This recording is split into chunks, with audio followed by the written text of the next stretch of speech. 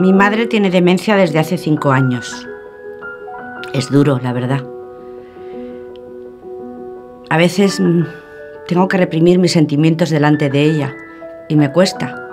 Es mi madre. Ella es la que me ha enseñado las cosas, ¿no? Ella es la que me decía qué estaba bien, qué estaba mal. Pero, siendo justos, y aunque resulte un poco extraño, durante estos cinco años la verdad es que me ha enseñado muchas cosas.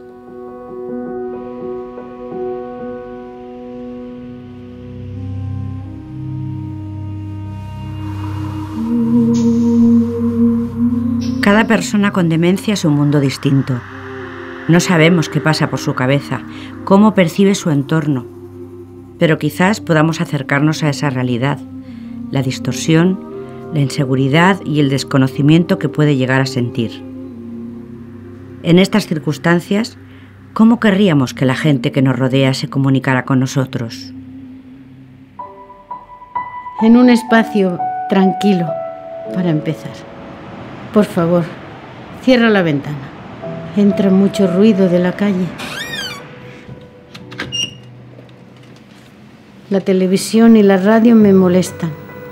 No puedo seguir qué me dicen y todo se confunde. Enséñame algo que me sea familiar. No te muevas. No te entiendo si te mueves mientras hablas. Siéntate a mi lado para hablar. Mírame a los ojos.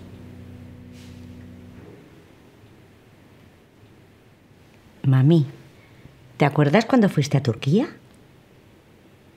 Sí, Turquía. Deja que piense en ello. No me atosigues para que te conteste. Si me despisto, vuelve a preguntármelo. ¿Te acuerdas cuando fuiste a Turquía? Sí, es un sitio precioso. ¿Te apetece un poco de infusión? No, ¿me quieres dar veneno? ¡Mamá! No me contradigas. No me digas que no te he entendido. No me gusta no entender las cosas. Pero no pasa nada. ¿Qué me has ofrecido? ¿Te apetece un poco de infusión? No, lo sé, lo sé. No quieres darme veneno, pero me siento tan perdida.